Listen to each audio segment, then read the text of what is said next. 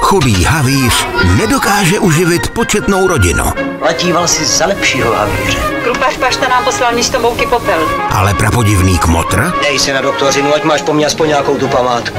Teď umím sotva číst a psát. má pro něj zvláštní dar. Když budu stát v nohách, urýruj si jak chceš. Co umí ten moula, já trefím taky. Jak budu ale stát v hlavách, už se mě do řemesla plíst nesmíš. Výjimečná filmová pohádka. A i grešny nedostaneš.